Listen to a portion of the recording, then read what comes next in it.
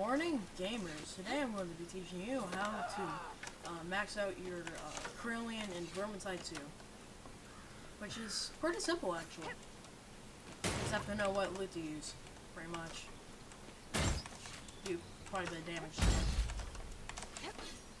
So, right here, I have a full max.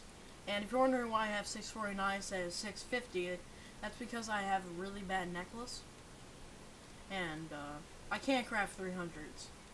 Like everything else is max. See? And um, I'm just gonna be teaching you what to use, uh, what traits to use, and uh, how to use her effectively. Because I hang out with my Kerillian's level 9 and can't do anything, even though she has two abilities already. So, we're going going to be using the dual swords and the longbow. Doesn't really matter what traits you have on these. The dual swords uh, hit really fast but don't hit very hard. It doesn't really matter because you shouldn't be fighting anything that needs over like three hits with dual swords. Because that's just stupid.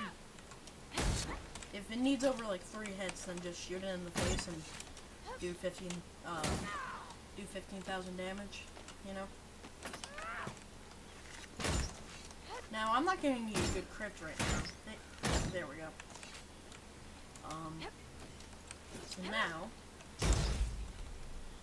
uh, well, all you're gonna be, uh, all you need to do is have crit chance and power versus Skaven. Uh, kind of dumb that I have infantry on here, but since I have power versus monsters almost fully maxed, I don't really care. Now, on the necklace. Kerillian's kind of a glass cannon, so if you want, so you should really be having some, a little bit of uh, extra health.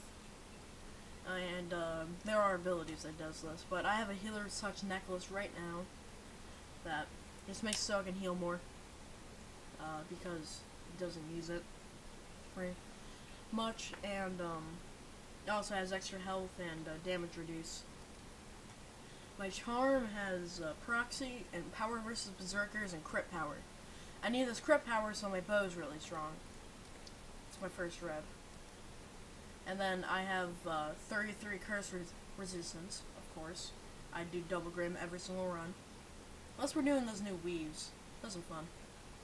Uh, this has shrapnel and just does grenade damage.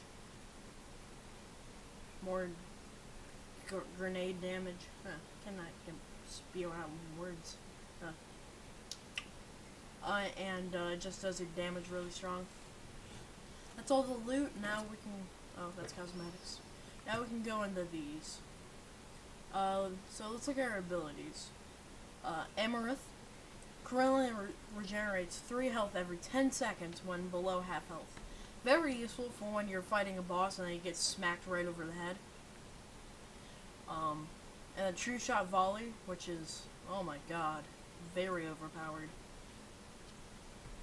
I didn't actually base this build around that. I based it more around my bow. And my bow does crazy amounts of damage against, like, monsters, so.